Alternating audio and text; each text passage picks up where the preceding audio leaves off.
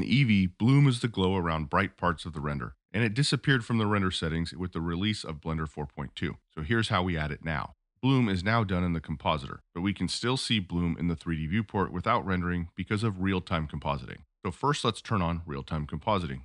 In either Look Dev or Render Preview mode, click this drop-down arrow, and at the bottom of the menu under Compositor, change from Disabled to Always. Now go to the compositor, check the box Use Nodes. We get these two nodes by default.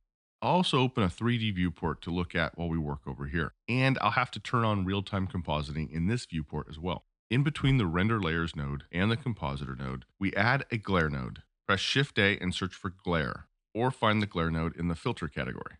By default, the glare is set to streaks, which looks like this. But we now have five types of glare to choose from. And look at that, bloom is one of them. We can adjust the quality of the bloom, the mix of the bloom, the threshold, and the size. You could also try fog glow, which gives a slightly different look. And this is all visible in the real-time compositor and in the final render. If you want to get better at learning Blender, do these two things. Hit that subscribe button, thank you, and check out the Blender Secrets ebook linked to in the description.